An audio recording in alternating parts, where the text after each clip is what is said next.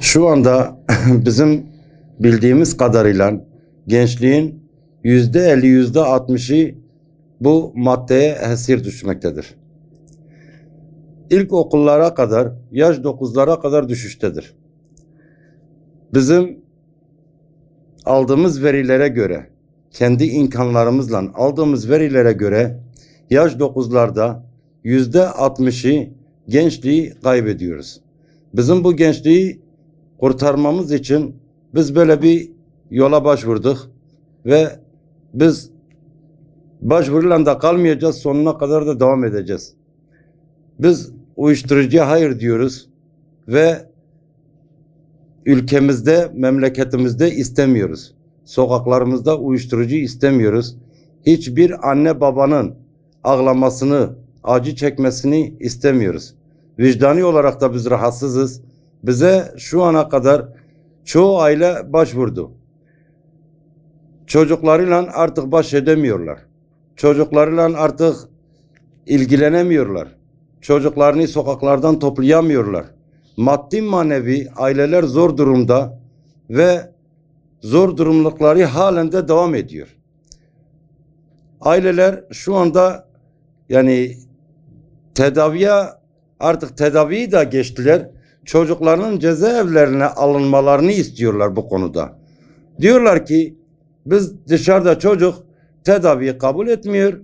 Bari gitsin ıslah evinde yatsın. Orada en azından arınsın. Yani aileler bu konuda çok zor durumda. Ne yapacaklarını bilmiyor. Dışarıdaki insanlar da aynı konuda. Adam uyuşturucu alacak, para bulamıyor. Bu sefer gidip gasp yap, gasp ediyor. Gidip birini bıçaklıyor. Yahut da evdeki eşyasını alıp getirip satıp uyuşturucu maddesini almak için her türlü zararı veriyorlar artık. Bizim bizim tek isteğimiz bunların önünü kapatmaktır. Bunun önüne geçmektir. Yani gençliğimizi kaybetmemek.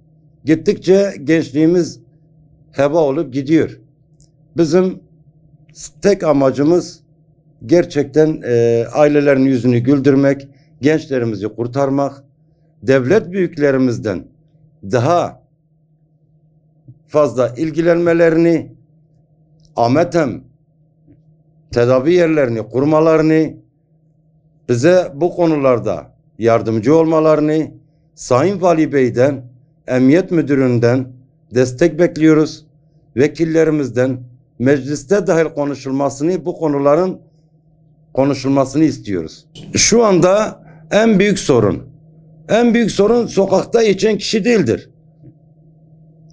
Kişi bu maddeye düşüren kişidir aslında.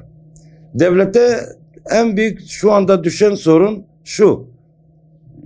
İçiciyi biz tedavi edelim. O da asas baronu ortadan kaldırsın. Asas baronun önünü kessin. Baronu bulabilmek için çok kolay bir yol var. İçici içiciyi aldığı zaman barona da ulaşır. Bu. Bizim Ahmet'im isteme nedenimiz şu anda uyuşturucuya düşen gençlerimiz var. Şu anda benim bulunduğum ilde Ahmet'im yok. Kişi Elazığ'a ya da Van'a ya da Sivas'a göndereceğiz. Kişi diyor ki uzaktır ben gitmiyorum. Burada olsa en azından şu anda içici olanı biz alıp da tedaviye gönderirsek devlet büyüklerimiz de baronların önünü keserse biz bunu düşürebiliriz.